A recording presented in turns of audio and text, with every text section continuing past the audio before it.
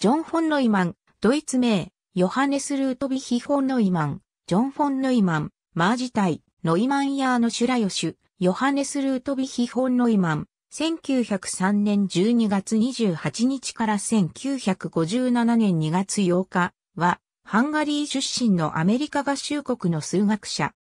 数学、物理学、工学、計算機科学、経済学、気象学、心理学、政治学に影響を与えた20世紀科学史における最重要人物の一人とされ、特に原子爆弾やコンピュータの開発への関与でも知られる。1903年にブダペストにて三人兄弟の長男として生まれた。名はヤーノシュ。愛称はヤーンチ。父は銀行の弁護士、ノイマン・ミクシャ。母はカン・マルギットで、共にハンガリーに移住したユダヤ系ドイツ人だった。幼い頃より英才教育を受け、ラテン語とギリシャ語の才能を見せた。6歳で7桁から8桁の掛け算を筆算で行い、父親と古典ギリシャ語でジョークを言えた。8歳で微分積分をものにした。興味は数学にとどまらず、家の一室にあったウィルヘルム音剣の44巻本の歴史書、世界史を読了した。好んで読んだもの、特に世界史やゲーテ、ディケンズの小説などに関しては一字一句間違えず暗唱できた。長じてからも数学書や歴史書を好み、車を運転しながら読書することもあった。1910年頃には父親がフェンシングの先生を招き、家族でフェンシングに取り組んだ。もっとも、ノイマンは全く上達せず、先生もサジを投げてしまう。また、音楽の先生にピアノやチェロを習わせたが、これも全く上達しなかった。実は、レッスンの最中に譜面の裏に歴史や数学の本を隠して読んでいたことが後から判明した。1913年に父親が貴族の称号を購入した。この段階でノイマンヤーノ氏はフォン・ノイマンヤーノ種になり、さらにドイツ語のヨハン・フォン・ノイマンに変わることになる。1914年にはブダペストにあるルーテルギムナジウム、アウグスト信仰の福音学校へ入学。ノーベル物理学賞受賞者、ユージン・ウィグナーとは、ルーテル校で学友だった。入学したルーテル校のラースロー、ラーツが、ノイマンの数学の才能を見抜き、父親に、ご子息に普通の数学を教えるのはもったいないし、罪悪とすら言えるでしょう。もしもご依存がなければ、私どもの責任でご子息にもっと高度な数学を学べるように手配いたします。と話し、父親が承諾すると、ラーツはブダペスト大学の数学者にノイマンを引き合わせた。その数学者の一人であるヨージェフ・キルシャーク教授がセゲーガーボール講師にノイマンの家庭教師を頼んだ。セゲーは最初の授業で試しに出題した問題をノイマンが見事に解いたので、その夜自宅で涙を浮かべて喜んでいたと、セゲーの妻は記憶している。1915年から1916年に、セゲーはノイマンの家庭教師を続けた。その後、ブダペスト大学の数学者たちが個人教授を受け持った。そのうちのミヒャエル・フェケテとリポート・フェエールが最もよく付き合った。1920年に17歳のギムナジウム時代に数学者フェケテと共同で最初の数学論文、ある種の最小多項式の0点と超越直径についてを書く。その論文は1922年にドイツ数学会雑誌に掲載される。1921年にラーツは父親との約束を守り、ノイマンが数学以外の科目を勉強するように指導した。ノイマンはギリシャ語、ラテン語や歴史、そして数学の授業も他の生徒と同じように受けていた。同窓生のウィルヘルム・フェルナーやウィグナーによると、ノイマンはみんなから好かれようと懸命に努力しており、威張る素振りや自分の殻に閉じこもって周りを無視するようなことはなかった。しかし、体育は何をしても全くダメで、どうしても周りの学生と一緒になることはできなかった。ギムナジウムでは主席であり、当時の成績表によると、ほとんどの科目は優であった。一方、例外的に習字、体育、音楽の成績は落第スレスレの家であった。6月に受験した卒業試験、マトゥーラでは主席であり、さらにエトベ首相にも合格した。1921年から1926年にかけてブダペスト大学の大学院で数学を学んだ。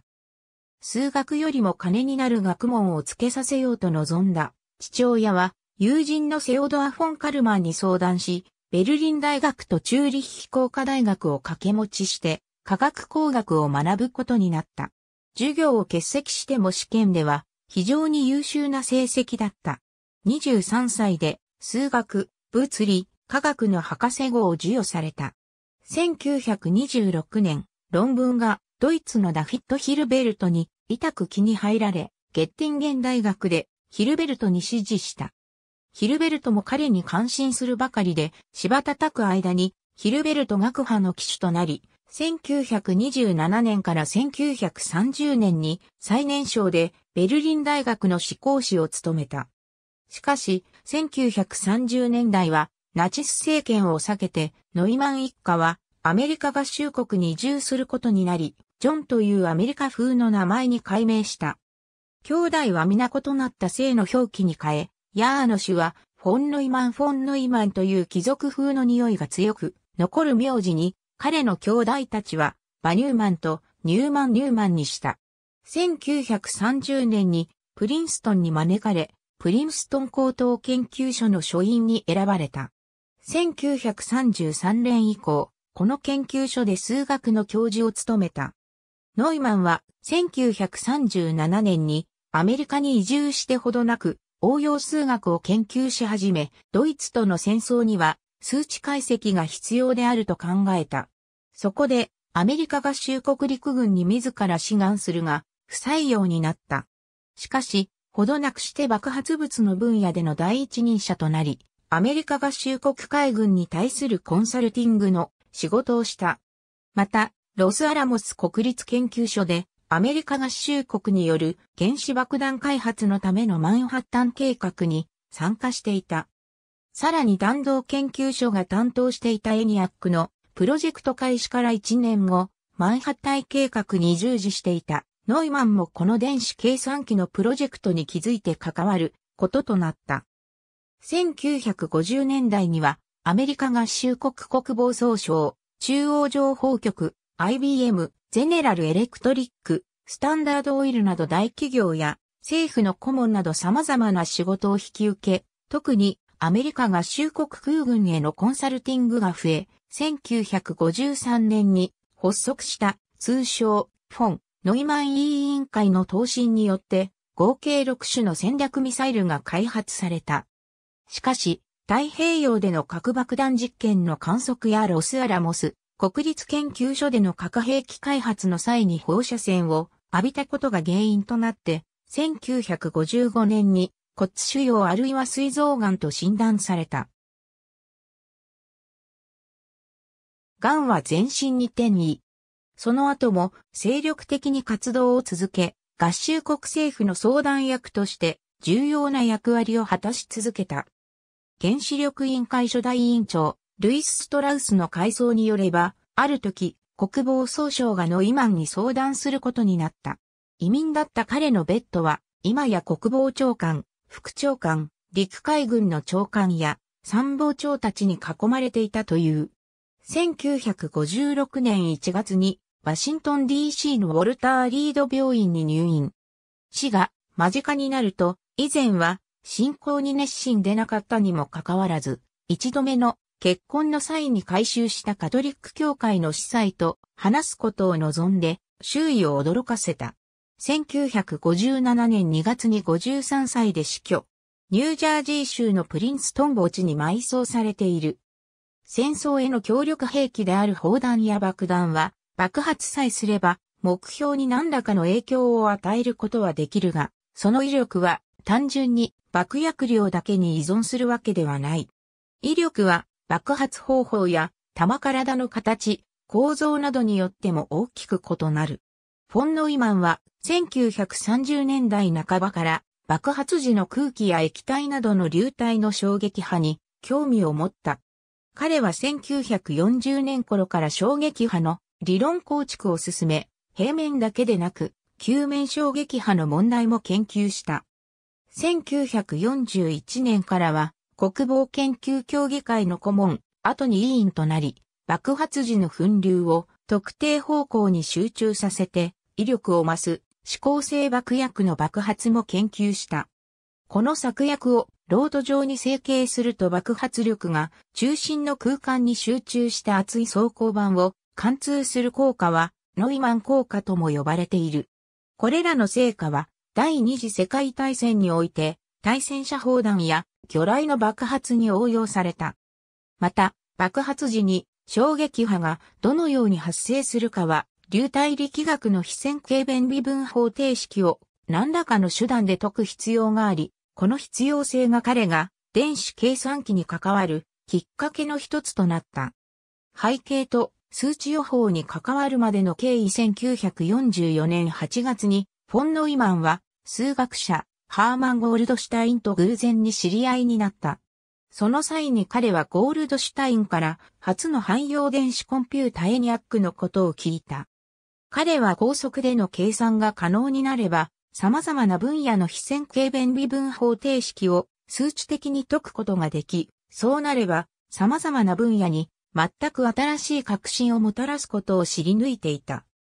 フォン・ノイマンは素早く電子コンピュータの本質を理解し、エニアックの演算回路の改良とともに次に計画されていた計算機エドバックの性能を格段に上げるため、新しい発想を練り上げた。彼はエニアックを知ってわずか2週間で、プログラム内蔵型コンピュータの概念を作り上げ、翌年3月には、現在のコンピュータの基本構成となる案を作り上げた。1945年には、プリンストン高等研究所で、エニアックの後継の独自の新型コンピュータ開発のためのプロジェクトである電子コンピュータプロジェクトを立ち上げた。この膨大な資金を必要とする電子コンピュータの開発には資金集めのためのわかりやすい目的が必要だった。彼は1945年頃にシカゴ大学の気象、海洋学者であるカール・グスタフ・ロスビーから気象予測が主観的な職人芸となっていることを知った。電子コンピュータによる気象予測やその結果を用いた気象改変は人々にとってわかりやすい目的だった。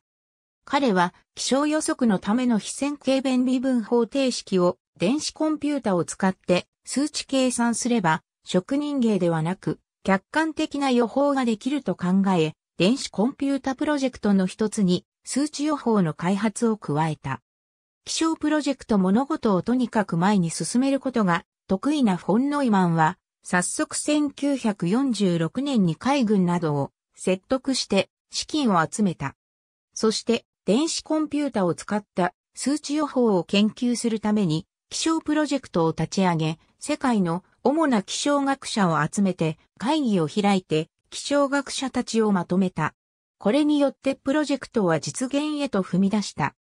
しかし、数値予報はイギリスの気象学者、ルイス・リチャードソンが第一次世界大戦中に手計算で言って失敗しており、単に変微分方程式を差分型にして電子コンピュータで計算するだけではうまくいかないことは、はっきりしていた。その打開のために、1948年にアメリカの気象学者、ジュール・チャーニーが気象プロジェクトに招かれた。チャーニーによって、リチャードソンによる失敗の回避が行われ、電子コンピュータを用いた数値予報のための手法が切り開かれていった。数値予報の実験は当初エニアックではなくその後継マシンで行う予定であったが、後継マシンの開発が遅れたため、1950年からエニアックを使って純圧モデルという気象の遺留のみを予測する簡単化された気象予報モデルで予報の再現実験が行われた。この際にモデルを内部記憶装置が小さいエニアックで計算できるようにするためにフォン・ノイマンがその手法を開発した。この結果は1950年に発表され、数値予報が実現可能であることを実証した記念碑的な論文となった。この論文の3名の著者の一人として、フォン・ノイマンも入っている。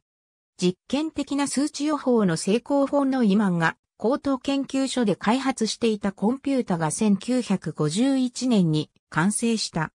この高速の計算機を利用して、1952年には、チャーリーらは複雑な形圧モデルを用いて、低気圧発達の再現に成功した。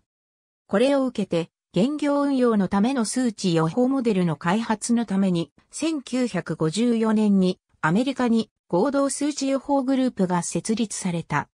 これは後に、現在アメリカで数値予報を行っている国立環境予報センターとなっていった。一方で、1956年にはシカゴ大学の気象学者ノーマン・フィリップスが大気大循環モデルの計算実験を行って地球上の大気の典型的な気候学的循環パターンの再現に成功した。その将来性に気づいたフォンノイマンは、早速大循環モデルのその後の発展のための会議のお膳立てをした。しかし、癌が進行していたフォンノイマンは、1957年に亡くなってしまった。しかし、気象プロジェクトから始まった数値予報モデルと大循環モデルは、現在日々の天気予報や IPCC などで議論されている地球温暖化の将来予測に欠かせないものである。まとめ気象予測モデルは観測結果の入力から予測の計算結果の導出までにかかる時間が気象の発現時刻より早くないと意味がないという特殊事情がある。フォンノイマンは自身でコンピュータを改善して数値予報が実用化できるほどにコンピュータを高速化しただけでなく、コンピュータ開発のために気象プロジェクトを立ち上げて主導した。彼は電子コンピュータと非線軽流体力学方程式の両方に詳しかったからこそ、電子コンピュータの開発のために数値予報に目をつけることができたと考えられる。当時の気象学の分野は小さかった上に、ほとんどの気象学者は電子コンピュータを扱えなかった。もしホンノイマンがいなければ、電子コンピュータを用いた数値予報開発のために大規模に人と資金を集めたプロジェクトを立ち上げることは困難だったと思われる。イアスマシンの前で並ぶノイマンとロバート・オッペンハイマー、原子爆弾開発に参加した頃の ID バジ写真。ありがとうございます。